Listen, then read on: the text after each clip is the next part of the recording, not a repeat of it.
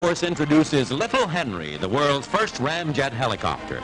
On the tips of its two-blade rotor are ramjet engines weighing only 10 pounds each and which whirl around in flight at 600 feet per second. The copter's pilot, fuel tanks, and controls are carried in an open steel tube structure, and when Little Henry takes off, it's best described as a three-dimensional motorcycle.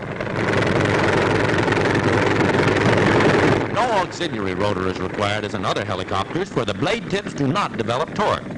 Top speed is 50 miles an hour, lifting power more than 600 pounds, and maneuverable, why little Henry could fly around the corner to the grocery store. One of the strangest things yet, a helicopter driven by jet propulsion.